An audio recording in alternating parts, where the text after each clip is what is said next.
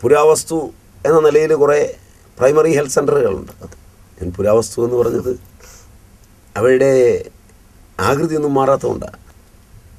ഇവിടുത്തെ കൃഷിക്കാരനും ഇവിടുത്തെ ചുമടെടുക്കുന്നവനും ഇവിടുത്തെ സാധാരണക്കാരനും ഭൂരിപക്ഷം വരുന്നവർ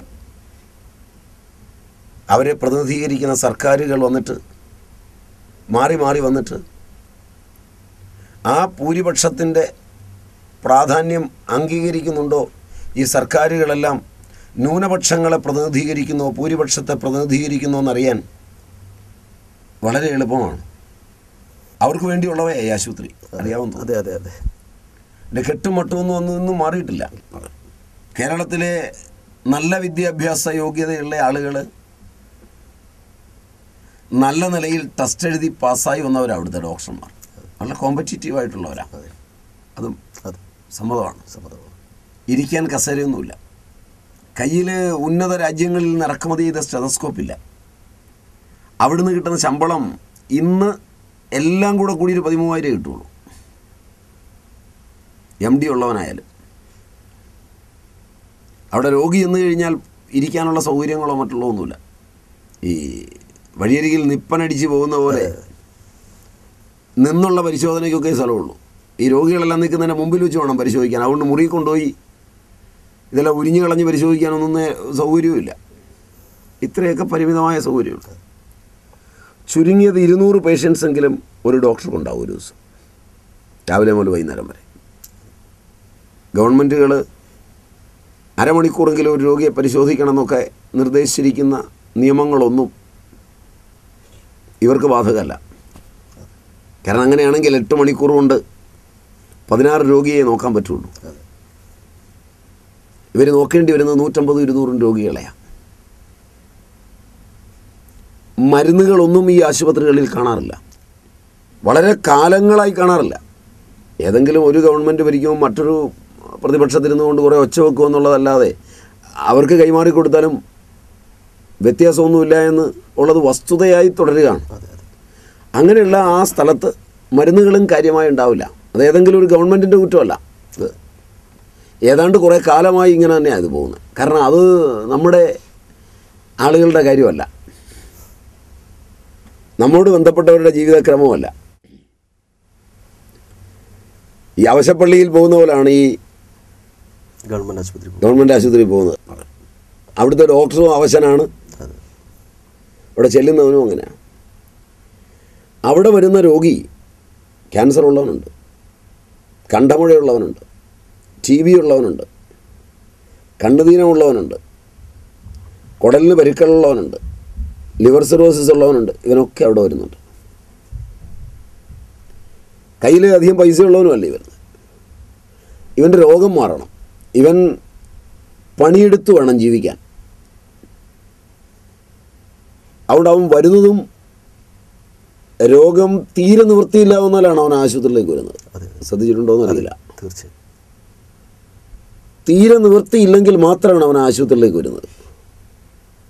അടുത്ത ദിവസം പണിതാലേ അവന് കഞ്ഞി കുടിക്കാൻ പറ്റുള്ളൂ. അവർ ചില്ലറ ദുശീലങ്ങളൊക്കെ ഉണ്ട്.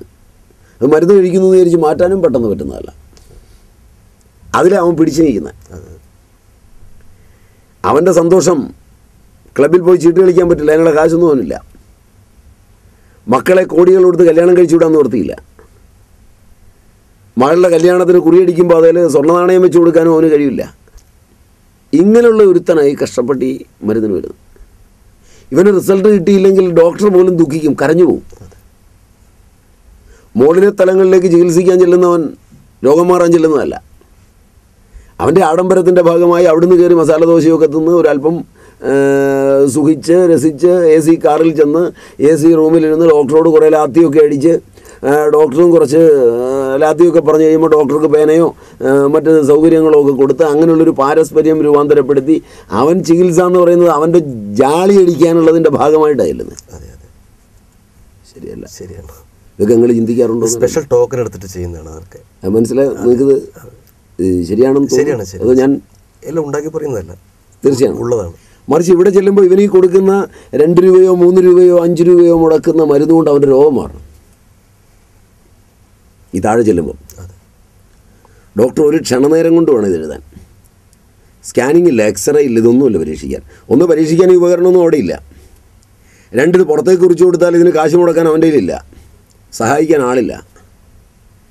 പണക്കാരൻ പാവപ്പെട്ടവനായി തീർന്ന് അവന്റെ ദാരിദ്ര്യം തിരിച്ചറിയാനും അത് മാധ്യമത്തിലൂടെ പ്രചരിപ്പിക്കുവാനും ജനങ്ങളെ കാണുവാനും അവന്റെ കാര്യത്തിന് പണപ്പിരിവ് നടത്തുവാനും സഹായിക്കുവാനും നൂറാളുകളുണ്ട് മനസ്സിലായില്ല? അതെ. ചികിത്സാ ഫണ്ടുകൾ. ചികിത്സാ ഫണ്ടുകൾ. ഇവൻ അതുമില്ല. അവിടെയൊക്കെ ഹൃദയപൂർവം ഒരുപാട് കാര്യം നടക്കും. ഇവിടെ ഹൃദയമില്ല. ഇത്തരമൊരു പരിതസ്ഥിതിയിൽ വന്നു നിൽക്കുന്ന അവൻ ഒന്നോ രണ്ടോ മരുന്ന് കഴിച്ച് കണ്ടത്തിലെ മുഴ പോയോ വയറ്റിലെ ക്യാൻസർ പോയോ ലിവർ സിറോസിസ് പോയോ പിന്നെയും പോയി പണിയെടുക്കുന്നുണ്ട് എങ്കിൽ ഉണ്ട് എങ്കിൽ.